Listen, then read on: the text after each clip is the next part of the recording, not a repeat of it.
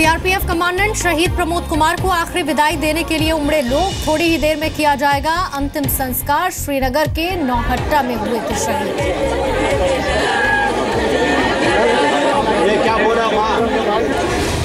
सीमा पर सेना के बंकर पर आतंकी हमले की साजिश। हिजबुल लश्कर के आतंकी बना सकते हैं निशाना। आतंकी घुसपैठ के आठ ठिकानों पर की गई पहचान। सूत्रों के हवाले से खबर।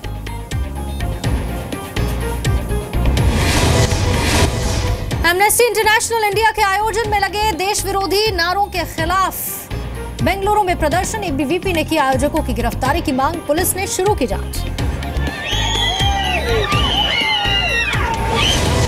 गुजरात के ऊना में दलितों पर हमले के मामले में एक्शन, हिरासत में लिए गए 12 लोग हुई इनकी गिरफ्तारी, कल हुए हमले में आठ लोग गंभीर रूप से घायल।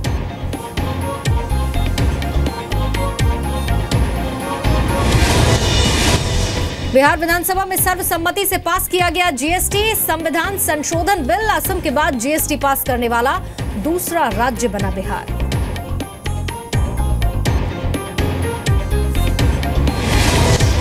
उत्तर प्रदेश के गाँव में काम करने वाले डॉक्टर्स को सुप्रीम कोर्ट से अच्छी खबर। पीजी कोर्स में दाखिले के वक्त गाँव में काम करने के बदले ज़्यादा नंबर दिए जाने को सुप्रीम कोर्ट की मंजूरी।